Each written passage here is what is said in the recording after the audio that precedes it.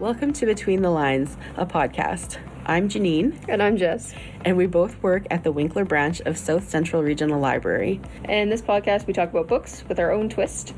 Uh, we'll talk about the first half of the book and predict where it might be going. and then finish reading the book and discuss the second half. There will be snark, there will be spoilers, depending on the book. Uh, there may be references to violence, sex, or other adult topics.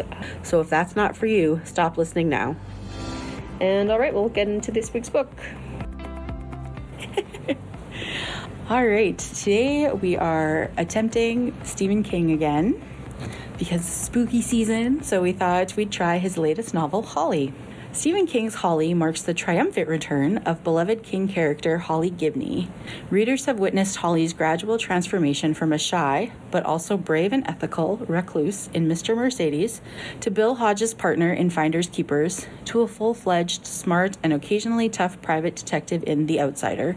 In King's new novel, Holly is on her own and up against a pair of unimaginably depraved and brilliantly disguised adversaries. When Penny Dahl calls the Finders Keepers detective agency hoping for help locating her missing daughter, Holly is reluctant to accept the case. Her partner, Pete, has COVID. Her very complicated mother has just died, and Holly is meant to be on leave. But something in Penny Dahl's desperate voice makes it impossible for Holly to turn her down. Mere blocks from where Bonnie Dahl disappeared live Professors Rodney and Emily Harris. They are the picture of bourgeois respectability, married octogenarians, devoted to each other, and semi retired lifelong academics. But they are harboring an unholy secret in the basement of their well kept, book lined home, one that may be related to Bonnie's disappearance. And it will prove nearly impossible to discover what they are up to. They are savvy, they are patient, and they are ruthless. Holly must summon all her formidable talents to outthink and outmaneuver the shockingly twisted professors in this chilling new masterwork from Stephen King. Of this character, Stephen King says, I could never let Holly Gibney go. She was supposed to be a walk on character in Mr. Mercedes, and she just kind of stole the book and stole my heart. Holly is all her. According to Goodreads, this is the third book in the Holly Gibney series, described as a character originating in the Bill Hodges trilogy, then continuing in her own stories. So, other books in the series include The Outsiders and If It Bleeds, which is a collection of novellas. Fun fact about the book the cover apparently glows in the dark. So, I, I have tried it. Uh, it wasn't uh, quote unquote charged at the time, so it didn't work super well, but I have seen pictures online of it. So, uh, if you do own the book, check it out, see, see what you can see. And this isn't a, a repeat author for us, but Stephen King has been around a long time. There's a lot of information about him, so here's some more for you all. King has put some of his College Dramatic Society experience to use, doing cameos in several of the film adaptations of his works, as well as a bit part in a George Romero picture, Knightriders. So there you go. Stephen King has published works under several pseudonyms, including Richard Bachman, which he used during the 70s and 80s. One explanation was that he wanted to test whether he could replicate his success again and to allay his fears that his popularity was an accident. An alternate explanation was that publishing standards at the time allowed only a single book a year. King picked up the surname from the Canadian hard rock band Bachman Turner Overdrive, of which he is a fan. Bachman's first name is a nod to Richard Stark, the pseudonym of Donald E. Westlake. No idea who that is, but there you go. The Bachman books are darker than King's usual fare, hard to believe. King called Bachman dark toned, despairing, not a very nice guy. A literary guild member praised Thinner as what Stephen King would write, like if Stephen King could really write. Richard Bachman was exposed as King's pseudonym by a persistent Washington, D.C. bookstore clerk, Steve Brown, who noticed similarities between the works and later located publishers' records at the Library of Congress that named King as the author of one of Bachman's novels. This led to a press release heralding Bachman's death from cancer of the pseudonym, a rare form of schizonomia. I thought that was kind of interesting. That's one way to kill off the uh, pseudonym. Yep. May as well do it with flair. Yes, exactly. but that people didn't know until this guy outed him that he Yeah. was writing as this author, which is kind of interesting. And also that part of the name came from a Canadian band. Yeah. So, So, cover. Um, I like the house. I want the house. I'd plant a shrub in front of the basement window that has a woman in a cage, so you know. Yeah, well- neighbors don't. But probably you can't actually see that. what? no. Yes. I expect it to be represented as it was on the cover at all times. Yeah. No. The cover is boring and bland until I found out that it glows in the dark. I did not know that, and that has completely redeemed it for me. If you have a boring cover, make it glow in the dark because everyone will I like mean, you better for it. How cool is that? Yeah. Right? So we uh I think we'll take it into our book drop later and try it out. Yes, definitely. I want to know if it actually glows Yeah. for science. For science. It's research purposes, right? Exactly. And then maybe we'll just hide in there for the rest of the day. Just kidding. Don't come out. Just say thank you to everybody that makes stuff back. Yeah, I know. the drop is talking. Oh no. Sometimes when I'm in there and people are throwing in books and they're just like really coming in, I want to be like, ouch. anyway, so uh, you alluded to the fact that you have some thoughts about this book and possibly not positive ones. So I'm curious. I've come to the conclusion that I just don't like Stephen King. No. Not subject matter or anything like that. Horror is fine as long as you're not running after someone with a chainsaw. I don't care. I j my main issue with that is a chainsaw is a terrible weapon. Chainsaw gets jammed cutting wood for crying out loud. Ugh. So rethink your weapon. Maybe a skill saw, a miter saw, table saw if you've got the room. Um, don't take these tips as actual life advice. Please Wood don't kill anyone. Chipper. Wood chipper. Again, very alert. messy and not as efficient as you'd think. Yeah, I know, I know. But anywho, tips for criminals being over now. I do not like his writing style. No. I cannot stand it. Lay off the parentheses. One page had five of them. Really? Stop. Just stop. Like it's so annoying. Also, he uses the word poop a lot. Did you notice that? Oh, yes, yes. Um my comment will not be able to be repeated verbatim, but I did make a note saying Holly needs to stop using the word poopy. She's not five. yes. Like And also, it's it's seriously grow up. O O U G H. Is that supposed to be oof? I don't know. I was going to comment on that as well because I'm like, I don't know what sound you're trying to make there. My guess would be oof. But oof has F's. F's. F's. F- It has F's. If it has F's, it has an Well, effigy. but a GH could also make an F sound. So is he trying to be clever? Yes, but I would recommend that if you're looking how to spell noises, please refer to Calvin and Hobbes. They do an excellent job of it. If you're listening, Mr. King. if you're listening, Mr. King, you probably should get to work on your next book. You've got things to do, man. Also, Or perhaps he you- needs an editor that doesn't like him. Hmm. I could have cut this book in half. Like, And this book isn't even long compared to his usual. no. But there's so much unnecessary stuff in there. Yeah. Like I, I, I, literally made a note of was Stephen King trying to stop smoking when he wrote this book? yes. Because she's either smoking, talking about th- or thinking about smoking, or complaining about where they can't smoke anymore, or Mm-hmm. commentating on it because it's not necessarily negative. Yeah. But like, I know. there's a point where I'm like, seriously, Stephen, are you Yeah. trying to kick a habit here or something? There's a lot of stuff like that where it's like, Like- let's comment on this over and over. There's something else and it's too. not necessary. Like for example, okay, uh, one of the kids that got murdered, he I shouldn't say kids, he was teenager, or young adult, or whatever. Um, he was sitting up on the drive-in point or whatever it was called, and he was smoking, and he realized after that they could see the butt of the the cigarette or whatever else it may have been. Um, and that's how they could kind of tell and they, they got used to him being there Yeah. that is something that okay no this is actually contributing to the plot Right. your constant whinging about i want a cigarette i want a cigarette oh i can really use a cigarette right about now Mm-hmm. seriously stop it Yeah. Nope, agreed. That was getting to be a little much. it was a bit much And and, there's also- a point where i'm going get a nicotine patch if you you can't smoke inside I know. like Also, Gum? there's a lot of COVID talk, oh which I could do without. You wrote that down also. I wrote that down as well. The last thing after living through the pandemic that I need to read about is the pandemic. Mm-hmm.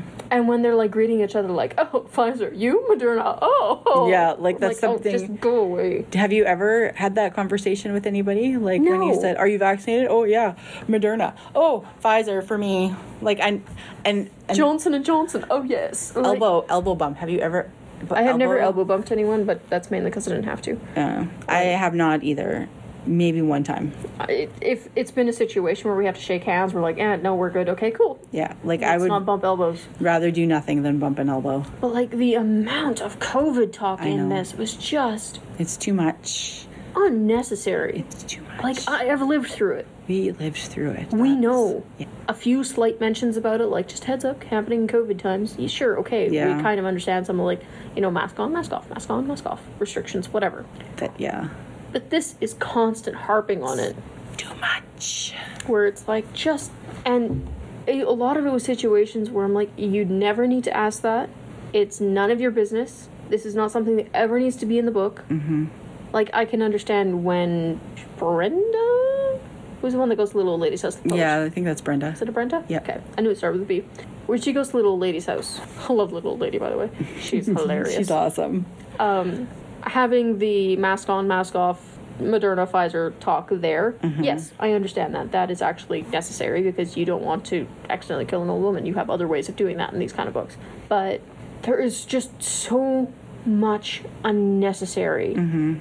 Where it just kind of feels like padding the book at a point where, like, he tried to hit a word count and just threw it Mm-hmm. Yeah. 10 more times. Yeah, so the smoking, and the COVID, also the half jokes. Like a millionaire walks into a bar and Oh, no. blah blah blah blah blah. Nothing. Honestly, I was so ragey about this book. Okay. it's just bad. I will say though, like writing style, yes, I. But in terms No. of general plot and story, there are a few things that I do not care for. But the actual like the mystery of it, I'm very of it? intrigued by. I Yes. want to know what's going to happen. Um, I don't hate it. The mystery of it, yes, fine with that. The general plot of it, in the whole like old professors killing people, someone trying to figure out there's only the connection of the location, that kind of thing. That I find interesting, yes. Mm-hmm. But it's so lost in her whining about her mother, complaining about mm-hmm. COVID, smoking throughout all of that, and The word poop 500 the times. The word poopy 500 times. It's not even poop, it's poopy. Like, it's both. five. It's both. like, Yeah. I just. There's also a lot of reference to um, the other books. Oh yes, Bill Hader when he tried to kill me. And, Yeah. You know, so and so. I, I don't think it was Bill Hader. I think that's somebody Bill else. Hodges. That Bill was Hodges, her. right? That was he didn't try to kill her. That was her boss or her Okay. mentor. Isn't Bill Hader like a comedian or something? Yes, actor. okay. Bill Hader tried to kill no one. He's I'd like to clarify that for the lawyers. Have you seen? He's that guy that's doing the dance with that song. Do do and you know, and he's not like, familiar with that. okay. Isn't he on SNL? I think he was. I don't Yeah. think he is anymore, but Anywho, Uh, Bill any- Hader has killed no one that we know of. But like, it's just so. yeah, I find her to be a very annoying character. yeah. Like, if you killed this character one page from now, I would probably cheer. Actually, But then you have no book left because the book is literally named Holly. you're familiar with Psycho, right? Where they kill off the main character, like. 30 minutes in or 20 minutes in I know nothing. and then about- completely flip characters I know nothing about Psycho. Mm. you should it's hilarious Hilarious. It's hilarious in the same way that the first Jaws is hilarious, where it's like, haha, cardboard shark. Okay, I've never seen Jaws either, so. what? No. No. Yes. How have you not seen Jaws? It's so delightfully bad. Anyway, never They- mind. In the first chapter, when they capture Jorge, George, Uh, honestly, that is the name that always messes me up. I'm like, I know it's pronounced Jorge, yeah. but it looks, it, it is spelled exactly the way that George should be if the English language made any sense at all. yes. Uh, I, it's the same. Jorge is just Spanish for George. Yes, I know. But why is the English one not spelled like the Spanish one? Because the Spanish one makes, makes way more sense in the English language. And also, if you're actually going to spell Jorge the way it sounds, you would not spell it J O R G E. No, there'd be W's in there.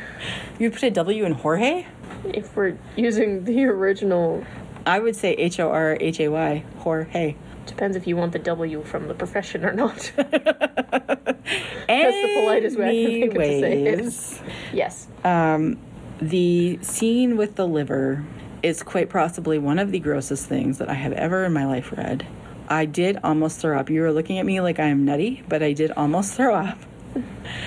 and there was a few other times when they talked. Every time liver came up in the book, I was a little bit gaggy. And then there was something else with the brains that I.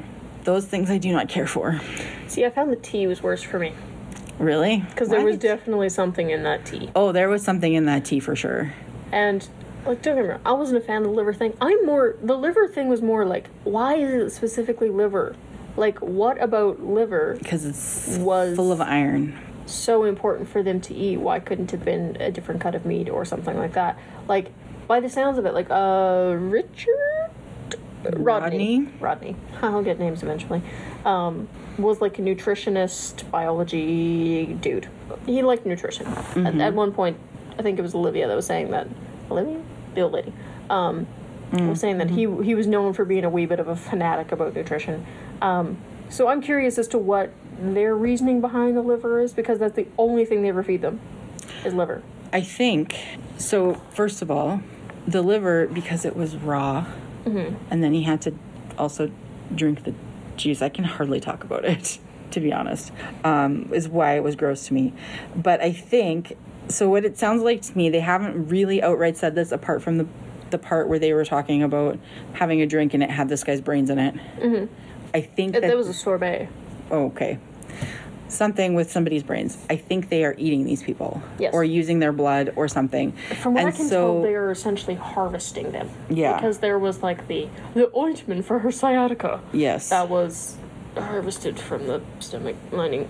yeah, that part also was quite gross. Yes. Um, so I I think the liver must do something to like either the blood or the body or something because liver is very high in iron, and so it must have some um, properties. See, it strikes me as like a purification shtick.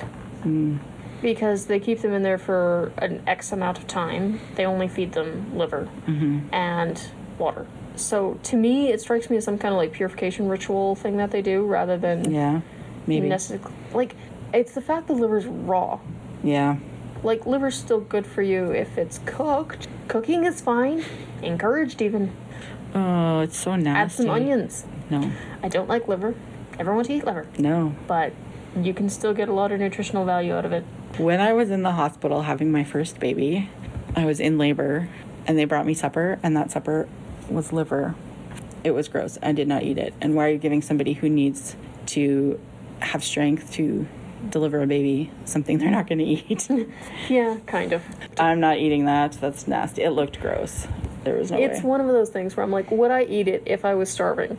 Yes. Perhaps. Is it something I will go out and purchase? Never, No. ever, ever. I think there are some things that are better made into sausage. Even if I was starving, I after reading this, I don't think I think this book will probably put you off liver for a while. ever, forever. Yeah.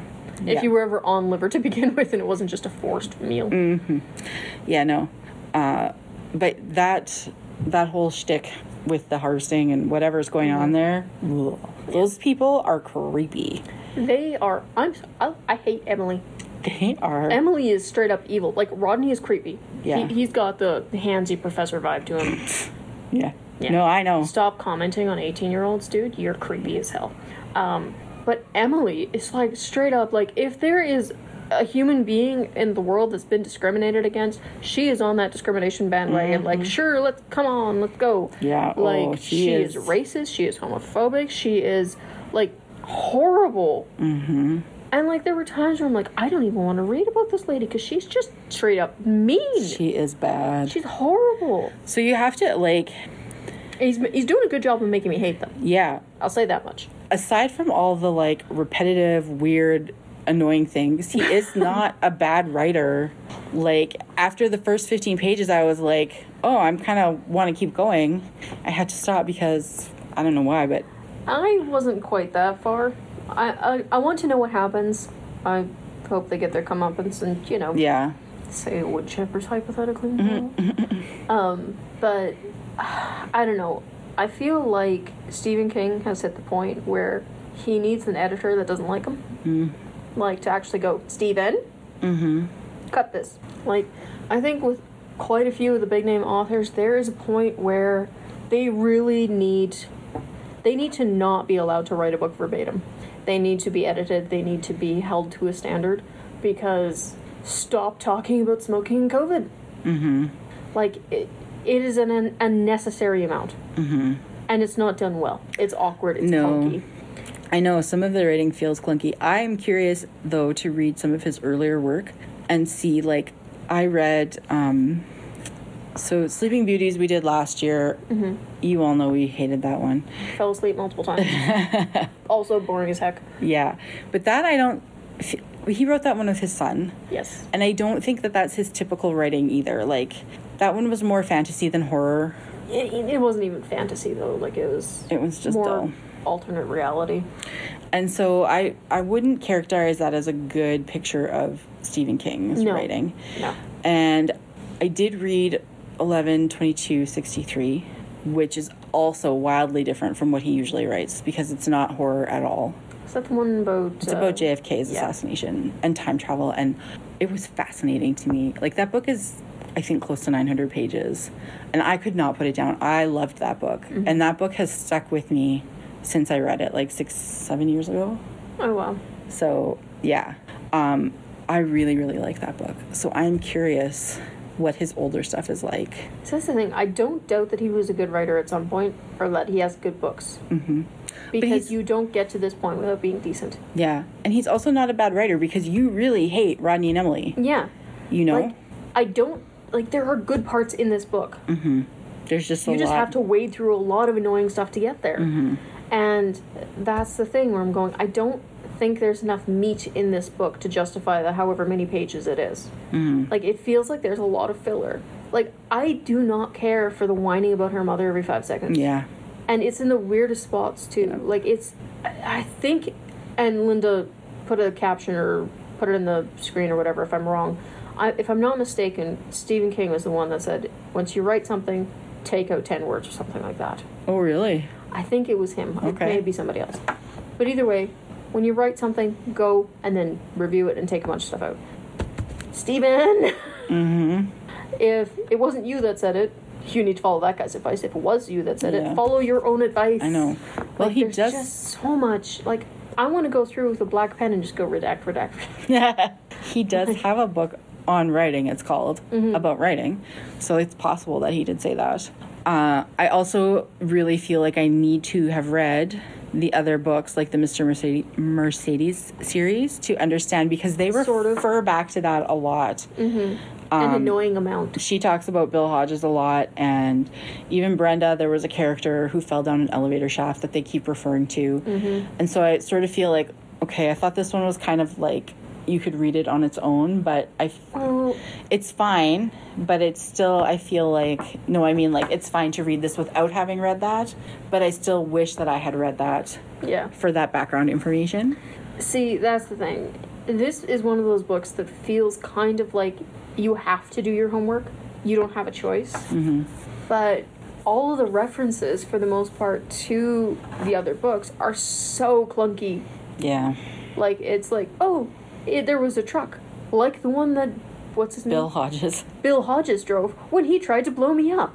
Like, it's painfully like, do you remember that book? Huh? Do you remember that book? Do you remember that book? Hey, I, I wrote a book. Do you remember that Yeah, book? did you read that book? Go read this other book, please. Yeah, please like- go buy my other book. There's so much reference to it that it's like, I don't feel like I need to read the other books, but not in a good way. More like in a, please don't beat me over the head with this. Mm-hmm. Like, Yeah. And I don't like Holly as a character, which doesn't help. But but She's it's in- whiny. interesting that she was only supposed to be like a bit character in the first book. but she stole his heart. Oh, put it back. like, I'm sorry. I think this could have been cut down by half. This entire book, just chop it right in half. Remove all of the COVID references. Nobody in the world needs these because we were all there. Nobody needs COVID explained to them. Amen. We got it. We're fine. Yeah. Cut the COVID stuff out. Cut the annoying millionaire walks into a bar because it is annoying and not funny and know. really makes me dislike this character. And get a punchline. Get a punchline. Oh my god, get a punchline. He's not known for his humor, I'll give him that. But like, Holly is. I'm not saying she doesn't have some investigative chops, as it were. Mm-hmm. But she needed to call Jerome to help her Interview teenage boys. interview teenage boys. yeah. They are not that scary. They can be tamed with food for crying out loud. Yeah. They're essentially lost kitty cats out by a dumpster that are like, and then you give them a saucer of warm milk and they're like, "Oh, I love you forever." Perhaps. I mean, don't have teenage boys love you forever, but like, yeah. Perhaps she thought difficult. they would open up more to a man, and that's why she only if he had more food. I They're don't not know. complex creatures. no, I know. But uh, And like they Like- weren't in like gang territory or anything where I'm like, yeah, no, backups justified.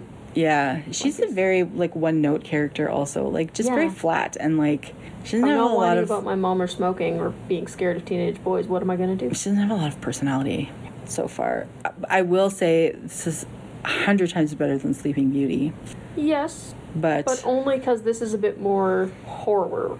Like there's horror elements in it if you can get through the crushing boredom. yeah, and the parts that are well written are really well written. Yeah, yeah. Like just get rid of the filler, Stephen. Yep. I also had to laugh because the one character's nickname is Stinky. Yeah. And when I was in high school, there was also a boy whose nickname was Stinky. I feel like there's a lot of teenage boys that could use that moniker. yeah. yeah. And that's I mean, I felt bad for Stinky's mom. yeah. I, I, was know. really hoping that kid would be okay. But Mm-hmm. I am glad Brenda got the heck out of that creepy house. Oh, I know, and that she found Olivia. It's the tea thing. It was the tea thing, Oh, honestly. I I'm like, know. oh, I don't, I, I already, like, tea already makes me kind of like, oh, I can't stand it. I do not like the smell. If somebody in the break room is having tea five minutes into my hour break, I will leave the break room. I hate tea. Wow. Okay then. On top of the fact that I don't like tea, you now have mystery tea from at least somewhat cannibalistic old couple. Oh, Mr. Like- T. Yep. I know. I'm I'm fine. there was a lot of really gaggy things in the first half of this book. Mm-hmm. And he can do that really well. Uh, there's a see. That's the thing with this book. I'm kind of torn between. I want to know more because I want to figure out how everything happens. Because right now they he's still been very very vague about like they get them into the van with they're like, can you push my old woman slash old husband up the hill in a wheelchair? They get them that way, Mm-hmm. and then they're de-using them later. Mm-hmm. Uh, there's been very little apart from the liver Yeah. Well, they of liver and ocean of fish thing that like they haven't gone into any detail like the closest they got to the in between part was when they got really frustrated at the vegan who wouldn't eat liver and shot them I know. which I enjoyed I that. mean, credit to the vegan Mm-hmm. like she knew she wasn't getting out of there and went i'm dying i'm dying with a salad thank you yeah, bye I'm not eating that meat. like full credit to her for standing up I know.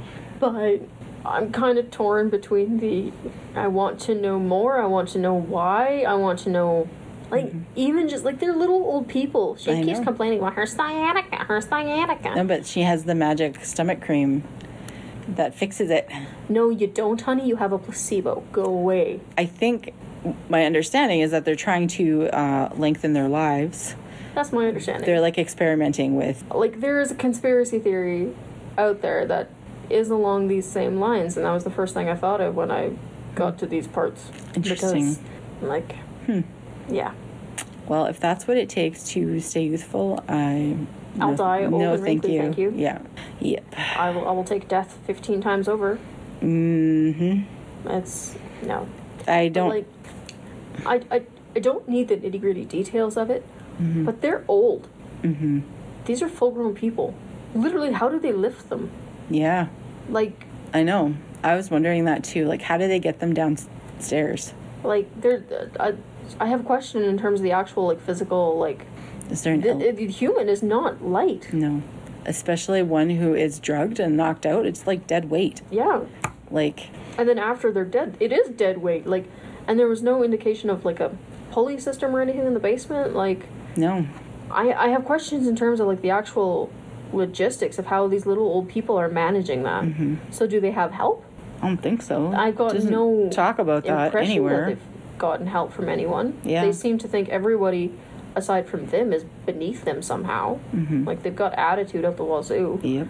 So I know. I, I mean I don't want the nitty gritty details, but there's also kind of this gaping hole of this person says she's having difficulty walking up the stairs. Mm-hmm. How is she supposed to How are they Now- moving these people around? move a full grown man, Yeah. even with the two of them? Yeah. Like her sciatica's going to give out. And his arthritis. Exactly. and even if it's power tools, I was using a power tool for a solid three hours on Saturday. My arms still feel it. Yeah. And I don't have arthritis yet. Or sciatica. Or sciatica. Like, Yeah. No, I know. I wondered that also. Maybe questions in that regard that I don't think I want answered. maybe we don't have all the information yet. Well, I'm assuming we're only halfway through the book. If we had all the information at this point, well, frankly, I'm disappointed in Stephen as a writer, which I think has actually already been covered as well. I think so. But- Yeah. I uh yeah. I don't I don't love all the gross stuff and all the repetitive stuff, but if you can flesh out the actual story and what is actually going on there, Mm. that part is very fascinating and interesting and and what is how does Barbara and Olivia fit into that? Like it seems like a totally extra thing. story that has nothing to do with anything. Like I can understand the Barbara showing up to the professor's house because I'm like, oh, here we go. She's going to be another victim, or Yeah. she's going to see something. There's going to be something. That is actually what I wrote down is that Barbara is the next victim. yeah. But Uh, I'm not sure now. Then she'd basically gone like, I'm never going back to that house. Their tea is terrible, Yeah. and they're creepy. Yeah. So I'm wondering if it's the van connection. Maybe. But because that's an awful lot of work to put in for a van connection. Like you never had to add Olivia into that whole thing. No. And she's Jerome's sister. Does that somehow have something to do with it? Maybe, but even Jerome, he seems like very much a side character of like, oh, we needed some filler here, so Holly's not pathetically alone. She needs, yeah. And like, then what does Olivia have to do with anything aside from Yeah. just being there? Like, don't get me wrong, I think Olivia's cool. Or is she somehow in on it and we just don't know? I'd be yet? surprised. I don't get those vibes from her. No, I get the but- feeling that she's more likely to whack Emily with a cane than she is to help her with literally anything. like, can you open the door for me, dear? No, whack. I would, I would enjoy a good cane whacking. Yeah, yeah, I think that would be quite Would add some interest to the book. I mean, I'm I'm there for like a full on like geriatric showdown. I think it'd be quite amusing. So Yeah, I. But yeah, if you can wade through all the extra garbage, it's not a bad book no, so far. but there is a point where you shouldn't have to work I so don't hard for want it. to have to edit as I read. Essentially, Yeah, Like I don't want to have to wade through. Mm-hmm. Not this much. yeah. Like the story is not that good No, to make it worth that amount of waiting so far. yeah. I guess like I don't understand people's fascination with Stephen King. I know. Not judging by the two examples we've had so far. No, and I know like Gail, who works at one of the other branches, loves him, and like I was she- really looking forward to getting her take on this book. I know she told me once if like anytime he has a new book come out, like it's an automatic buy for her. Yeah, she already had the new copy. Yeah, and so I just I don't understand that, and so that's why I think I'd like to go back and read some of his other stuff. I feel like his earlier stuff, just knowing the the very basic like synopsis of the stories, they were more creative. Yeah, Like there's a possessed car. that's the is that the Mr. Mercedes one? I think I don't remember. Uh, is it Mr. Mercedes? I feel like I don't know. Either way, like that is something that's legitimately unique. Mm-hmm. Is it overdone now? Yes, but that's only because he did it first, or one of the first. This is not unique.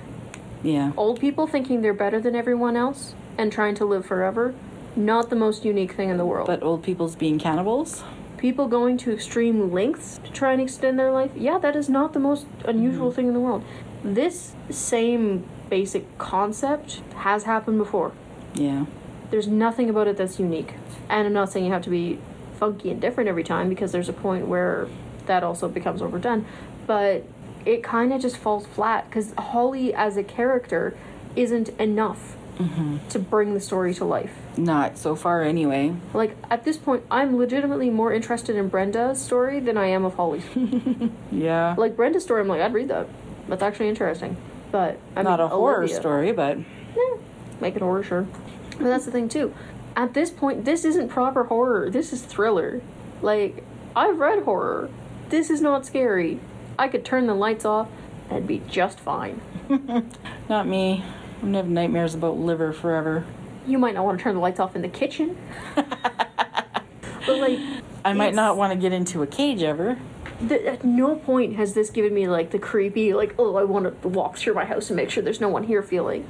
No, that's true. Uh, That's, I've Like- never like There's just none of that with this book so far. I'm not. I want to throw out the liver in my fridge. Do you have liver in your fridge? No. I am not a horror reader. This is like Stephen King is the only horror that I've ever read, and most of what I've read of his has not been super super horrific. yeah. And so for me, this is already like mm, it's a bit much, like grossness wise. Am I afraid? Not really. Well, see. Is there an old couple who lives across the street from me?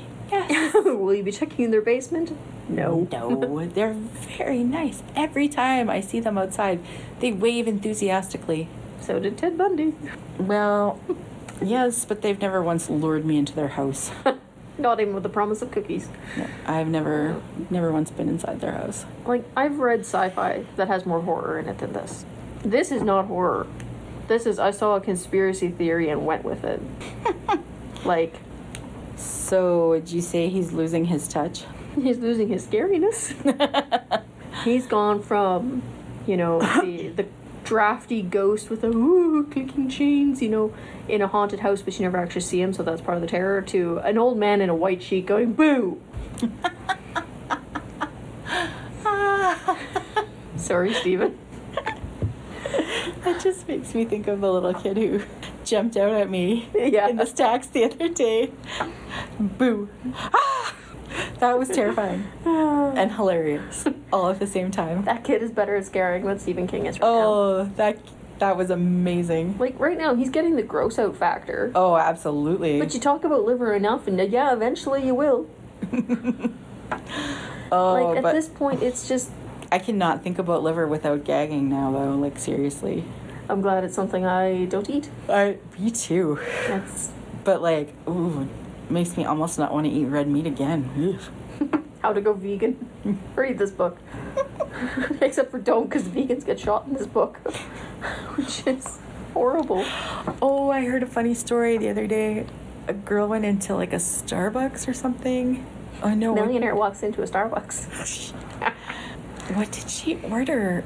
And she said she was vegan, and she ordered something that had dairy, I think. And the person serving her had to break it to her that Dairy's not vegan. that's actually yeah, that's not a Oh. vegan food item. Worst one that I've heard is oh no, dairy's fine because the cow was vegan. Like, come on. I mean, Choose your dietary restrictions, whatever. That's up to you. That's your own choice, whatever. But if you're a vegan that eats meat, you're not a vegan. well, they didn't say meat; they said dairy. Yes, I know, but like, veganism is a diet that has certain guidelines and rules. Yeah. If you're going to break all of them, you're no longer following that. Now you're a vegetarian. Well, Yeah, we should probably mean- get off the topic. We're gonna have vegans coming for us in the comments.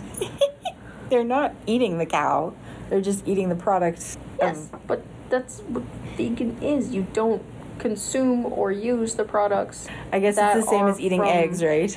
Yeah, Because you wouldn't eat eggs either. Because you could make the same argument for eggs. Because chickens are vegan, are they not? yeah. So Most like, of the animals we eat are vegan. so you could make that same argument for eggs, right? As you could for dairy. Yeah, but then you become a vegetarian Yeah, because vegan is animal or any animal products. yeah. No leather, no honey, no anything. No honey. No honey. Honey's not vegan because it comes from bees. I guess that's true. So, if you're fine with eating the products that animals make, but not the animals themselves, you are by definition then vegetarian. Yeah, Like, yeah. No, you're right. that is true. we're just going to offend a bunch of vegans with our statements. And then again, I'm pretty sure the saying liver talk has gotten it already done. I don't think we're saying anything offensive. We're just saying what is and is not a vegan. No, but neither of us are vegan, so we're Yes, not really true. qualified. Because I mean, I'd eat a hamburger if it was in front of me right now. Oh my goodness! Now I want a hamburger. How about a liver burger? Oh. Nope, now we're done again. Anyway, do we have anything else to say about this book? I think we have recorded too far into lunchtime and now we're both just hungry. yeah, true. I feel like something's got to happen with Barbara and Olivia. Barbara is her Yeah. name, not Brenda. I think we've been calling her Brenda. I also predict that Holly will make more bad if a millionaire walks into a bar jokes. and whine about smoking and how her dead mom is so horrible and Yeah, I mean, her mom does sound like a piece of work, but oh she totally does I got that from like the first like tenth of the book. But she keeps like Yeah. there's no new information. I don't want to say there's no in- new information presented. Like there's the information presented that her mother is actually a gazillionaire and basically stole her money just to mm-hmm. control her. He's very controlling. There's that. But like that is the only thing that happens. That's the only bit of new information we get in the entire half of a book that we've read. Mm-hmm. And she's talked about like every second page. Mm-hmm. It's so annoying. Yeah. I need to let this book go. As long as there's no more liver, you know, that would be good. Yeah. I cannot handle any more liver talk No. or body part talk. I expect that there will be more. I get the feeling you're going to be in for a wee bit of a shock in the second half mm-hmm. then. yeah, no, I I'm worried the second half is gonna get even more gory. I think it definitely will. Put it this way as much as I don't want to read about the process, there's a point where I'm going, if you're a half decent horror writer, you're at least adding something about the process. Mm-hmm. So, as much as I don't want to read it, I'll be a little bit disappointed that it won't be there, even though I don't want it to be there. Because, you know, hypocritical. I know, I know what you're saying. But, like, it's horror. It has to be some kind of horror, because now Yeah. it's just thriller. Yeah, So, with a little bit of gross stuff. yeah. I kind of keep expecting Jerome to die. Oh, interesting. I don't know why. He's just got that kind of this one's gonna die vibe. Hmm. Which might be completely inaccurate, but Interesting. I don't know. I don't have anything to base that on. Just a feeling. Okay.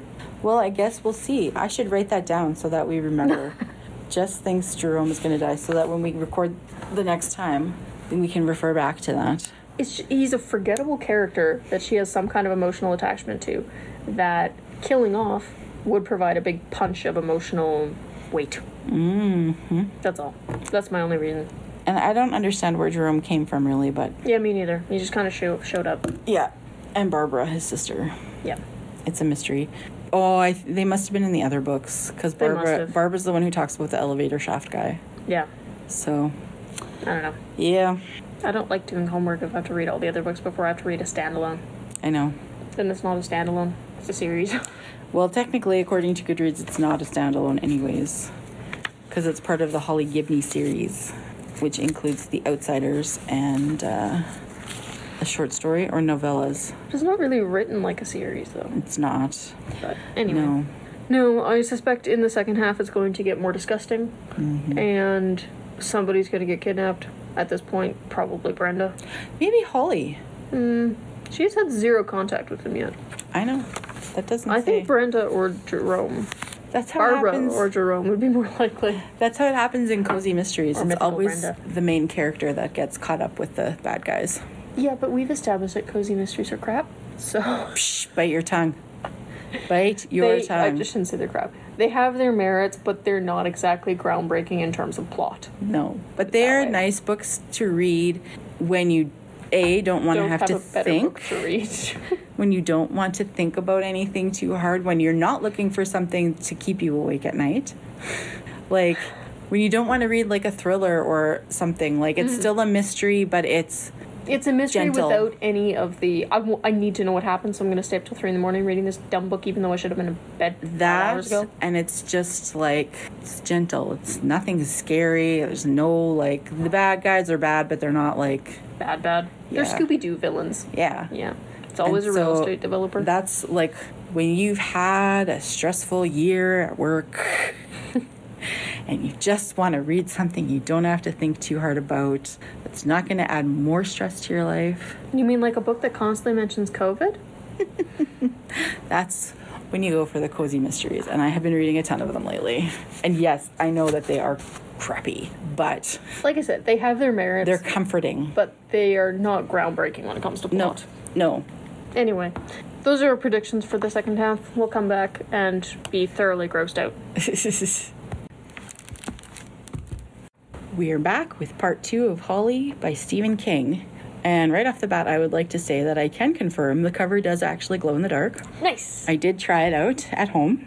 And uh, yeah, so the words and the windows on the house are what glows. Awesome. Yeah, it was pretty cool, actually.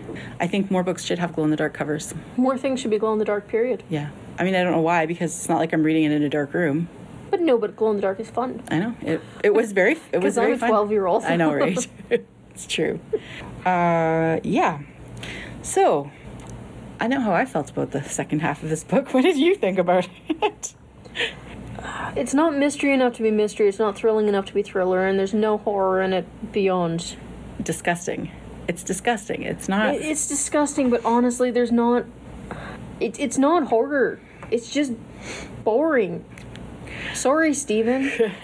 this I I really just like to me sometimes the writing felt clunky. mm-hmm. The dialogue was weird and I just was like, mm, is this your best work or is this just like I got to keep writing books because I'm not dead? I like I like that. like I can't retire. That's Stephen King's motivational poster. I have to keep writing because I'm not dead. Well, like I mean, he's of an age where he could probably very comfortably retire. Yeah. So why I don't know. Like, my takeaway from this book is honestly, I need to go back and read one of his older ones I know.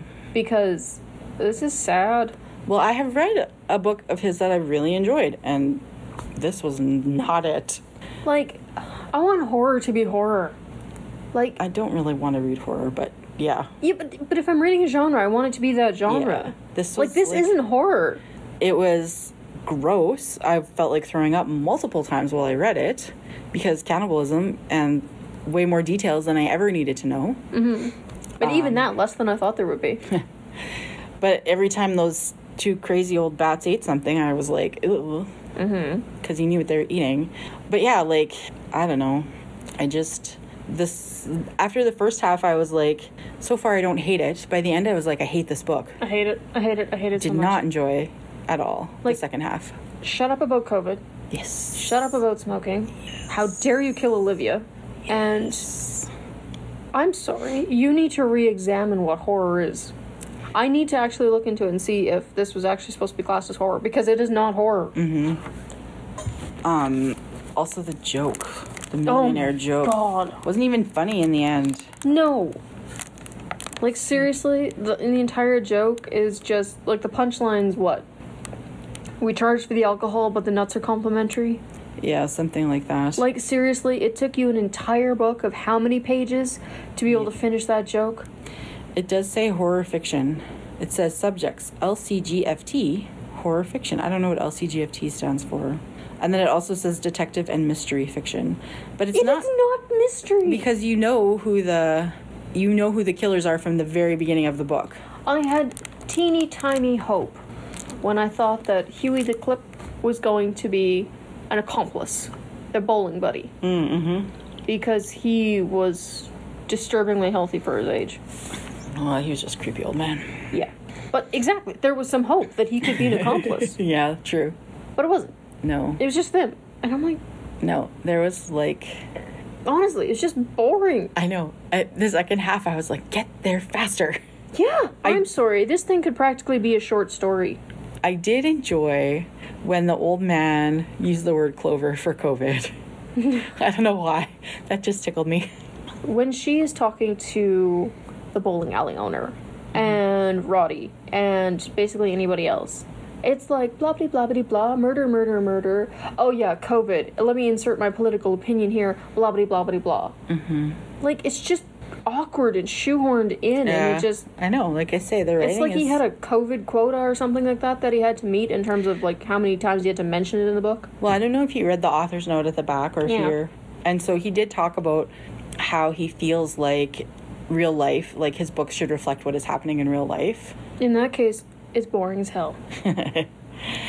And so I did try and read a couple of reviews just to see, like, because it has 4.6 stars on Goodreads, I think. It's not based on his name or the actual book. I'm guessing it's based. Well, the one review was like, I don't know, it was so long I couldn't get through it, but loved it, five stars. And then one Have of you read other books? one of the other reviewers was like, "It's far enough past COVID that I can read about it now." And I was like, "No, it's No, it's not. not. for me." Because Not when it's this level of harping on it. I know, like, if you mention it occasionally, fine. But it was like in every interaction, Yeah. it came up. And at no point did it really have to be. Mm-mm. Like, it wasn't like, oh, we're quarantined in the Antarctic and there's a murderer on the loose. It's valid. This was like, apart from saying, and she kept her mask on, That's all. Like Mm-hmm. you don't have to go to like, oh, Moderna, Pfizer, yeah. Elbow Or- bump, elbow bump, mask, mask, mask. I love Trump. Down with the mask. Anti-vaccine. By the way, would you like a sandwich? Like it's, Would you like a sandwich? it makes just as much sense as having the interaction. I know. Like I don't know that I will ever want to read about COVID in such detail. Like, not like I'm fine with it being like this is just the world for those two three years. We were there. yeah, exactly. This is not a book that's going to be studied in history class. Like, and it doesn't feel like an authentic part of the book. No. It doesn't really go into how it affects business Yeah. or businesses or people like No. on any meaningful level. It's like you should wear a mask and also gloves for whatever reason. The gloves, I feel like we're just like, oh, that way Brenda can find the glove later and go, I know that glove, I gave you that glove, Yeah. and then break into a house. It's a good setup for that. One thing I will But say. still, it could have been done better. Yeah. One thing I will say though, he is good at having a cliffhanger ending to the chapter. I found lots of chapters ended and I was like, we can't stop there. And then he would jump to another storyline and then go back to the other. And you like are looking at me like that's I'm nuts. But there was a few chapters where I was like, okay, no, I got to know what happens because it Not really was kind of me. a cliffhanger. For me, I'm like, I was bored enough. Like, there wasn't really anything where I'm like, oh, this character's fate hangs in the balance. Because we knew Bonnie, Bonnie? Yeah, Bonnie, was dead from the get go. Yeah. But Unless he'd actually taken a weird turn and actually killed Holly, which I would have been a fan of. Or done anything to Brenda. But, like, by the time you got to the second half, Brenda was established enough. You knew you, she wasn't going to die. you talking about Barbara, Barbara. Sorry. poet, Poet, yes, Barbara. and her story. Stop with the B names. like the whole Barbara and Olivia, I don't really know what that I added. I feel like it could have been a separate book. Well, it but there wasn't enough there to make it a book either. There wasn't enough to the book to make it a book. But I don't understand that part of the storyline. Like, what is the purpose of this? It was literally I just guess it so was- that there was somebody removed enough that they could come in at the end and go, aha, here's all the pieces fit together. Ta-da! well, and I guess Olivia talked to her about was it Jerome?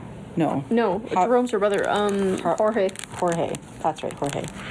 Um, But even that, it's not like they couldn't have solved it without Jorge. Yeah, right. And also, how does she know Jerome and Barbara? Like, where did they come from? What is the Yeah, I, I'm assuming that's something that's covered in the previous books. Yeah, I know, But that's the thing. Like, if they're supposed to be working at the detective agency, I'd love to work for that detective agency because apparently you can take a couple months off, yeah? do your own thing, still get paid your grand. I don't think they work for her though. they like- assist somehow because They're she they had the um they had the keys. passwords to the computers and stuff. Yeah, and the keys to her office. But that that you don't get that if you relationship don't work for me. that relationship to me was like it was a puzzle. And you could have explained that a little better. It wouldn't have had to take a long time. You could have just Skip some of the COVID stuff, and put that in there instead, Yes, yes, exactly. or just shut up about smoking for five minutes. Yeah. And I was also really disappointed that Rodney and Emily got killed off as Yes. opposed to having to pay for their crimes. Because the humiliation of having to actually be paraded in front of cameras and stuff like that for court trials would have really fried her. Although honestly, every time they say Emily, I just think Emily Gilmore. Because no offense to Emily Gilmore, but there's a few um similarities. Oh, but Emily Gilmore is much less disgusting than this old lady. so we think. Surprise! It was Emily Gilmore all along. Uh, No, but like the insistence that the Christmas party must go on. Like that kind of thing. Mm-hmm. Okay, yeah. And the looks above all else. the rich white woman. Yep. Yeah. But yeah, like I remember thinking they kept talking about their cyanide pills, and I was, oh, I just hope they don't get to take those before they get caught. And then they got killed, and that was. Mm-hmm. I mean, I'm glad they didn't take them, but I'm also sad that they got killed. yes. And also, as if an earring could cut a jugular. I know. I I want to know what earring that is now. Like, what kind of. To me, it sounded like a cheap earring. and relatively small. Yeah. And Like how. to go in deep enough and then actually have I mean, A Ho- Holly having the strength and B it being sharp enough to actually cut through that. Yeah. Like I could see maybe if she stabbed in possibly, but actually slicing? Mm-hmm. Honey, no. No. Like, I like what kind of savage earring is this? I don't know. I kind of want a pair. I know, Apparently, well. they're very handy. Do you though? well, you never know. How about you just stay out of situations where you might have to stab somebody in the jugular with an earring? but I might need to stick my nose into somebody's business where it doesn't belong. Uh, I also, I was at page 406 and I was like, how can there still be 40 pages left? Wrap it up, King. Honestly, that was me at page 40. How can there still be 406 pages left? I don't know. Like, it's just. yeah, no, it's not. I don't know. There's a point where authors are selling books based on their name and not the content. And mm-hmm. this is definitely one of them. It, either that or we're both missing something. No, I'd argue the book is missing something. Well, a plot, story, and apparently horror. Yeah. Horrify me for crying out loud. still 4.6 stars on Goodreads. Am I just jaded or I don't know. Like, it was gross. I played too many video games and now I'm numb to all the violence? It bothered me that they referred to their victims as livestock, also. I mean, I did find the elf bites thing a little bit funny. but mainly, I think, pretty sure I actually saw a recipe once for elf bites that were like little Christmas cookies, so. I think that may more of me. You can't ever make those cookies. I will not make them. Just at Christmas, Janine, would you like some elf bites? No, yuck. Like I could hardly read those parts towards the end. Like I just had had enough. Like this is gross. Honestly, I. Ed Gein is worse. I'm not saying he isn't. I'm just But- saying that this was gross for me. I've listened to podcasts, I've read books about Ed Gein. It's bad enough that I'm like, okay, this isn't good. I'm not advocating for it, obviously. It's still horrible, but it's not nearly the level of gross that Ed Gein is. So there's a part of me that's going, uh, it's not. Okay, uh, The Pawn. Mm-hmm. That was worse. That You was a, the better book, You thought the pawn was worse than this? yes. Okay. Because it actually made me give a crap about the characters. Mm. This didn't. No. I, if the book had ended with every single character in that book exploding, You would not have cared. I would not have cared. Except The- Olivia. I liked her. Olivia was the only exception, and he killed her off anyway. Yep. Well, she was old. Yes, I know, but she could have made it till the end of the book. I know. She would have loved seeing Emily get arrested. I know. Would have been happy days for her. Exactly. Happy, happy days. Yeah, I. I don't know. Like it's if it's horror, it needs to be horror. There needs to be a psychological element at the very least. You know, in, in this one, you know who the bad guy is. Yeah. And they were just You know what happens. crap crazy old people. It's just a case of slogging through the book and waiting for the characters to catch up. Yeah, that's true. Like the the fact that the killers were revealed at the beginning of the book, Yeah. and there was no major like twist. It was just following along as Holly pieced it all together. Yeah. Where's the Where's the gotcha? Where's the horror? Like Yeah. it's we knew from the like we knew in part one already yeah that they were snacking. the like- yeah I know It wasn't snacking. I expected fully expected the second half to be a bit more like get out the saws kind of Yeah. thing, where it, it No. takes a turn into horror. Not like the one part when she broke into the garage to get pictures of their van, Mm-hmm. and then Emily was lying. Emily, yeah, yeah. was lying on the deck or whatever. Help me, help me. And I was like, "Don't help her! Run away! Like, Well, don't be an idiot." Holly was even thinking like, what if they're using this as a ploy? yeah, I'm like, yeah, how dumb are you? I know. That part was like, "Come on, you know better than to go help her." That's the thing. Like, I don't like Holly as a character. No, I think her joke is horrible. it's not funny. It should not take a 400 page book to get one terrible joke out. that is not even a joke. And not even one she came up with on her. Like, Yeah, it's not even original. yeah, It just felt like, honestly, that was Stephen King's way of going, remember, she's a millionaire. yeah, we know. Okay, don't rub it Like- in. As are you, Stephen. Thank you. Yeah. It's just gauche at this point. But Yeah, I need to go back and read his older stuff because this is not horror. I know. Like, there wasn't, like, horror you should not be able to read in the dark. Horror, when you're done it, you should be looking behind doors to make sure there's not a monster with a Yeah. chainsaw, even though he couldn't feasibly fit in four inches of Yeah. space. I should like there should come a time where I feel like I have to pause because I'm afraid, Exactly. not because I'm so bored out of my. I want to stick the book in the freezer. this one, um, Did he write Cujo? No, did he? I'm not sure I don't remember. because that's one. That's the one that Rachel stuck in the freezer on Friends. I think. Is it Cujo? Yeah, I think Cujo is what they were. Cujo is the dog, right? Yeah. Yeah. Don't look up the movie. Oh, what a good little puppy. Sorry, I'll stop now. Based on Stephen King's 1981 novel. There you go. So maybe I have to try that one. Like, that's the thing. This isn't horror. This is not thriller. It's not mystery. It's not really anything. It's fiction. This is following along because you apparently have no better books to read. One thing I did notice though, when he kept Holly kept saying poopy and whatever. Oh, so already. she doesn't swear. She should. The other characters in the book swear, but she does not until the very end when she's in trouble and I think she says like the F word one time. But throughout the whole book I started noticing that she does not swear, but the other characters do. I can not swear and still not be using the word poopy. I know. Because I'm not not five. saying that as a justification for the use of that particular word. However, I mean, it was just something I noticed. there was a point where I'm like, seriously, Stephen, maybe you should seek help for this obsession.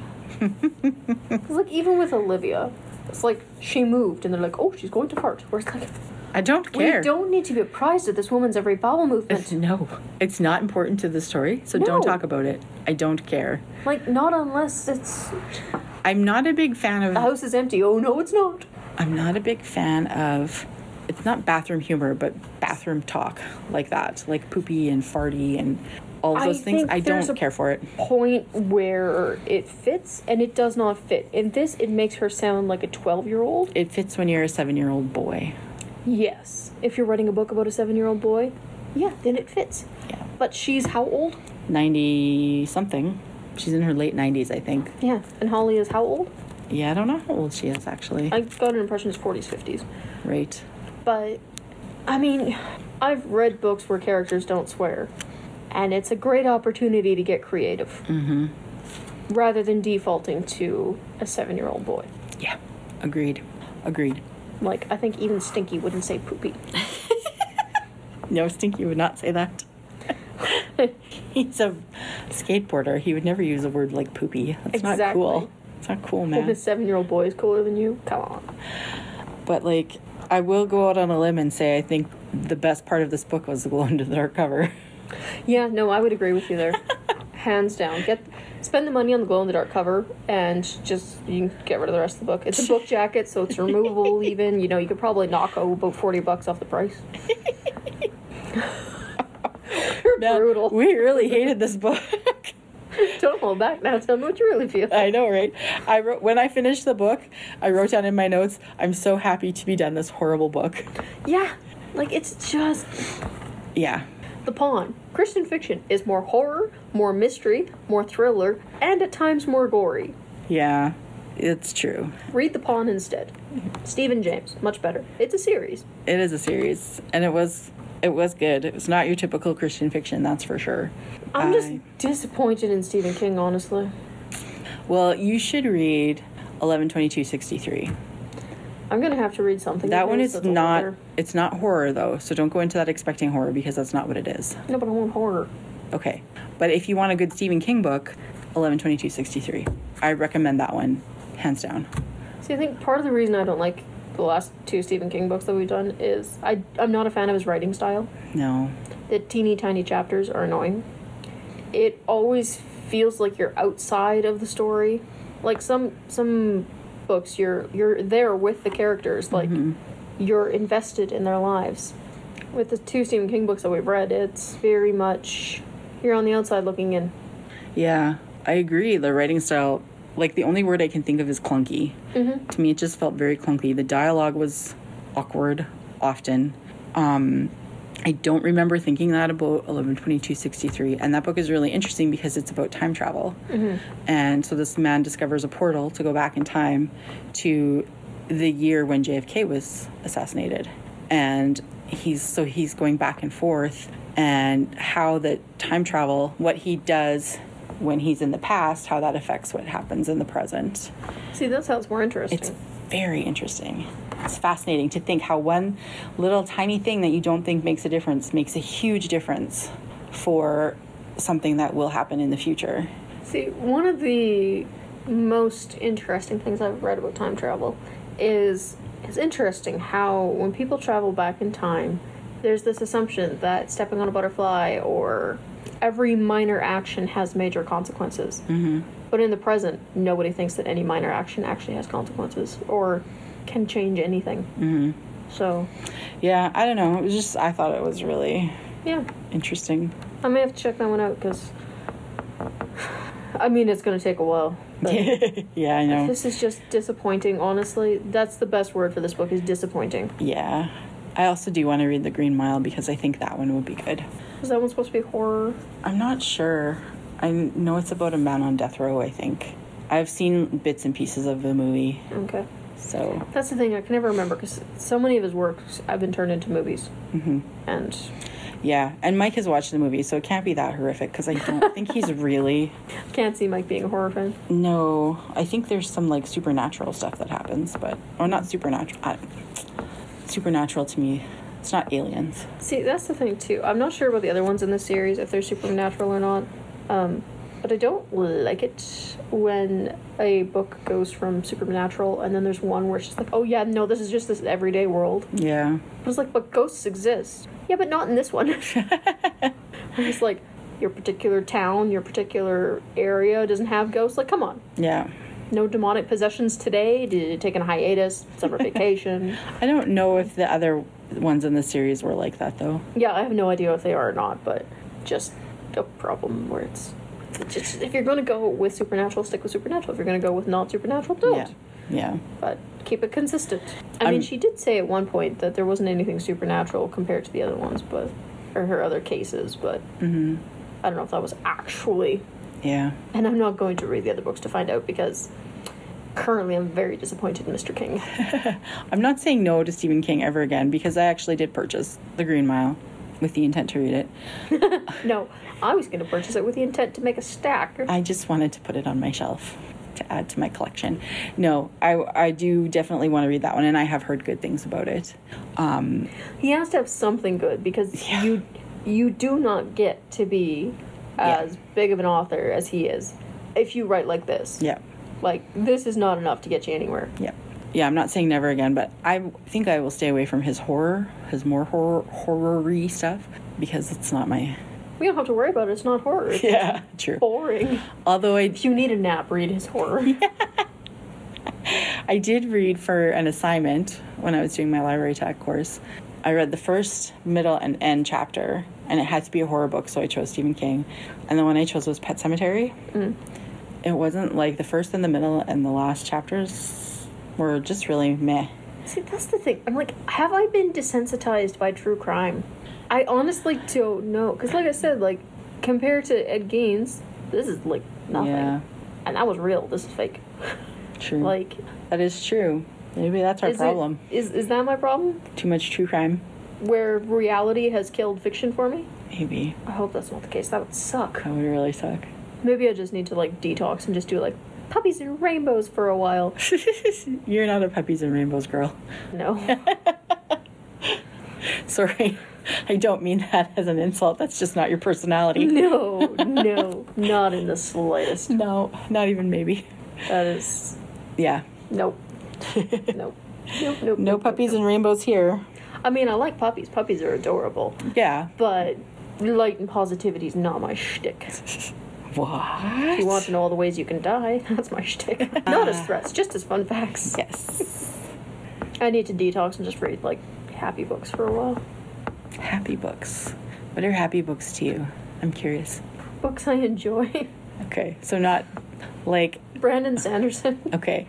Although I'm working on Mistborn, the the third book of the Mistborn series, and it's like the there's earthquakes, mist all the time, ash is piling up like nobody's business. Essentially, the world is ending, preservation is dead, ruin is taking over, and that's a great book. That's my happy book right Okay, now. see. so there's probably something So- deeply wrong with me. when you say a happy book, you mean a book that makes you happy, Mm-hmm. not a book that is inherently happy in its No, I, I want a book when I reach the end of it, I go, that was a good book. I enjoyed that book.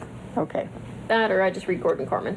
So like when you said happy, I was thinking like funny, feel good type of book. And I oh, was I like that's feel good books. I hate that doesn't sound books. like something you would read, so that's why I was curious to uh, to know.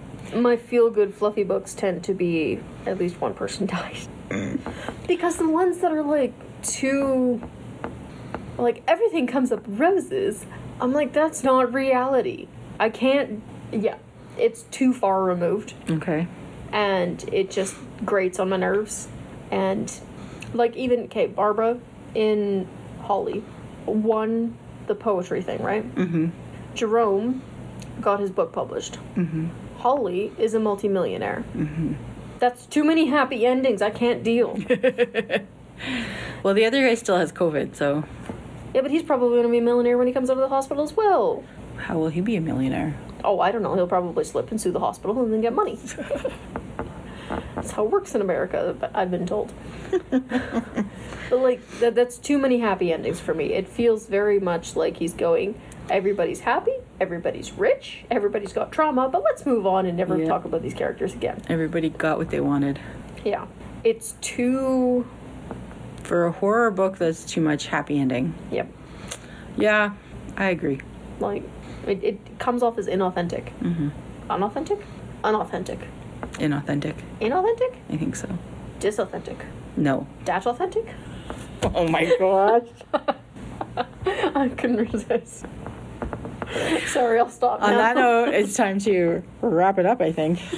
yes. Do you have any fun facts for us? Um, I do. So I saw a clip of an interview with Stephen King uh, where he shared this story. And so then I went on with the theme of his relationship with his wife, which there's some really interesting things. So, years before Carrie, Stephen King asked his wife to marry him. And because of their dire financial situation, they couldn't afford expensive jewelry as an expression of their love. They ended up buying extremely cheap wedding bands, and it's the one that King wears on his finger to this day. He said on Good Morning America, this is the interview that I saw. This one right here, 750. It, I went back on the bus with my wife. The car was broken down and I went, "Gee, I hope these rings don't turn our fingers green." And she said, "I hope we're married long enough to find out." That's the kind of pessimism I need. And so I thought that was really interesting. So I just kept on with that theme um, with King and his wife. King met his wife, Tabitha, who is also a writer, when they both worked in the library at the University of Maine. There's a long running joke that I married Tabitha because we were poor and she came with a typewriter, he told Bon Appetit in 2013. But it's really because of the fish that she cooked for me. We were living in an apartment with two kids, and I was selling stories to some of the men's magazines, and we were just barely making out. I was teaching school, and in the summertime, in order to make ends meet, I was working in a laundry. And Carrie sold for like $400,000 to paperback, and I was so excited. It was Sunday when I got this news, and the only thing open was a drugstore. So I went out and bought my wife a hairdryer. It's all I could think of. A hair dryer. The the drugstore store sold nothing else. It's all he could think of. Very I- unimaginative for a writer. I just thought that was sort of funny. yeah.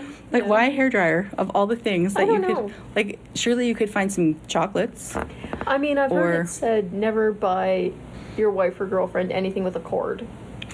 and I heartily disagree. Mm, yeah. I got an angle grinder for my birthday and I'm bloody thrilled. I was using that thing the other day. It is brilliant. So, anyways, just some interesting uh, tidbits of King and Tabitha King and their early life together. I don't know. And really. We ran out of other author stuff from the other one already. I didn't really know which way to go with this one, and I didn't really want to talk about cannibalism because, well, yeah, no, let's end on a happy note. and I don't want to discuss COVID anymore either. So no, we can talk about smoking. I guess we could have talked about, but I, I don't. Heard enough of it already. Uh, yeah, so that's kind of. I just thought that the story about the rings was kind of funny. Yeah. Like they were seven dollars and fifty cents, and I think you can even buy a ring for that price these days. Mm, you can't buy hardly anything for that price these days. Not even a hairdryer. You can buy a back scratcher. That's oddly specific. Okay, eh, well, daughter number two was in the dollar store a while ago, found a back scratcher, but there was other things she wanted to buy more that day. But she has had this back scratcher on her mind since that time. And so now she had gotten a few weeks worth of allowance and was like, Do you think I have enough money to buy a back scratcher? And I was like, I don't know. I guess we'll oh. have to go check it out. Goodness. So Mike took her to the store and she bought a back scratcher and it was actually $3.98 or something like that. Like less than $4. Oh man. Yep. And she has been Oh, kids are ridiculous. scratching everything inside since then. Oh, yeah. man. So anyways, now we know at least the origins of your oddly specific story. Yes. So if you come into four dollars, you can go to Morden to the dollar store and get yourself a back scratcher. Good news, good news. So there you go. Anyway, with that, I think we should probably just end. We're done with Stephen King. Please don't make me do another one. I think you picked this book, so uh, I probably did. Don't full tell- dumb ideas. we'll not do more Stephen King, at least not for a very long while. If we do, it has to be one of the old, Old ones. ones, yeah, And for sure. if he can't scare me with that, I may need therapy to figure out where my scare button is broken. so that's what we thought of this book. But those are just our opinions, and we'd like to hear yours. So leave us a comment, Thanks for joining us for Between the Lines, and thanks to our editor, Linda. and we'll see you next time. Bye. Bye.